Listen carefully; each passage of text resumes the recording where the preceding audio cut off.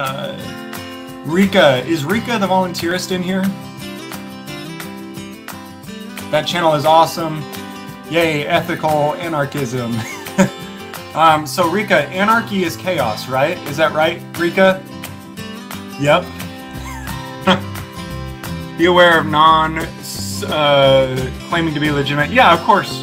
Yeah, that's no anarchy is not chaos. Okay, so I guess I mean I don't know. I know that the system that we have now is complete and total chaos. I can tell you that. I can tell you that the system that we have now, anarchy, Rika says anarchy simply means no rulers. So, Rika, are you saying that it means that all men are created equal and endowed by all men and women? That all human beings are created equal and endowed by their creator with certain inalienable rights? And that no man or woman is more or less or greater than or less than another man or woman? Oh, I see. okay. Um, yeah, guys, I'm, I'm glad you're bringing this up. So, so anarchy is not chaos. Uh huh.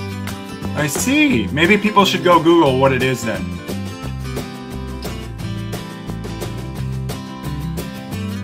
Or maybe go check out YouTube, maybe Larken Rose.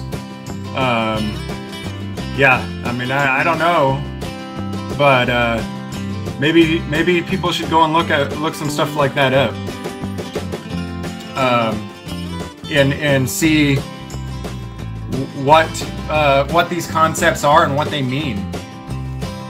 Uh, there we go, Spooner, Brian Moore.